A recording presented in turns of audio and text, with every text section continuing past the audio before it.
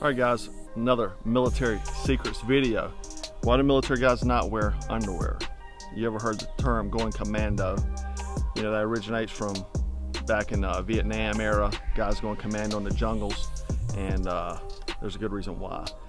In the uh, military, you know, they issue us the, uh, you know, whitey tighties, the skivvy drawers. You know, obviously once you get out, usually you sw switch to something else, but a lot of guys do wear those throughout their career. I don't know why, but they do. Um, a lot of us will swap over to the Ranger panties and wear those underneath our stuff. You know, they're very breezy, very cool. They have inner liner, and that way you can just pop your pants off you have shorts on, you know.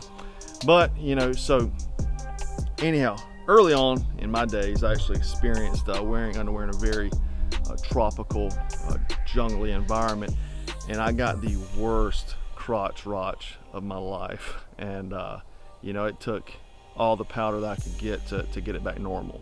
Anyway, that's when I learned about going commando. Basically, after that, anytime you're in the field, you just don't wear skivvy drawers because you get the breeze. Um, the cotton will sit there and hold moisture and bacteria up against your your uh, your jewels and get uh, you know nasty and, and, messed up. So a lot of guys don't wear underwear. Um, a lot of my my buddies uh, when we were out, nobody did. You know, it's just one of those things. Uh, it's just more hygienic not to.